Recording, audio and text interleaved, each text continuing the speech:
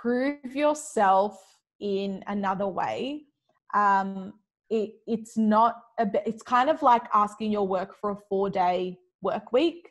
Um, like for example like tim ferriss says like you know ask them to trial it kind of yeah. thing, and know? see how it goes. So it's it, the same principle applies to like your your parents in terms of that. So it's like say to them, I'm going to defer for six months. I'm going to show you X, Y, Z. So, like, enroll into uni for the first six months, whatever.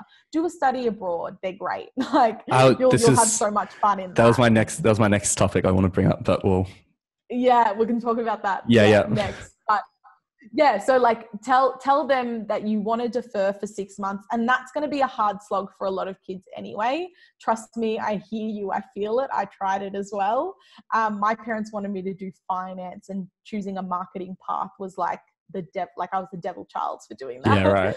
Um, but but once you kind of show them that you're doing something and you're passionate about it and they see that firsthand you'd be surprised as what you as to what you can get away with after that.